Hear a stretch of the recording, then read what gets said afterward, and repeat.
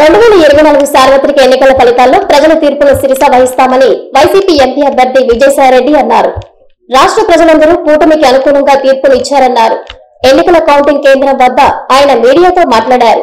ఎక్కడ లోపాలు జరిగాయి? వాటిని ఎలా సరిచేయాలి?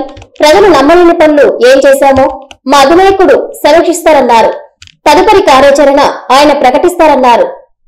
ఆంధ్ర రాష్ట్ర ప్రజలందరూ కూడా రాష్ట్ర వ్యాప్తంగా కూటమికి అనుకూలంగా తీర్పునివ్వడం జరిగింది. ఎవరైనా కూడా ప్రజాస్వామ్యంలో ప్రజల తీర్పును శిరసావహించాల్సిందే అన్నటువంటి విషయం అందరికీ కూడా తెలిసిందే. అది రాజ్యాంగబద్ధం కూడా. ఈ యొక్క వైఎస్ఆర్సిపి మేము ఎదుర్కొన్నటువంటి ఈ యొక్క ఓటమికి కారణాలని సమీక్షించుకోవాల్సింది ఎక్కడ పొరపాటు జరిగింది? ఆ పొరపాట్లను ఎలా సరిదిద్దుకోవాలి? ప్రజలకు నచ్చనటువంటిది మేము ఏం చేశాం?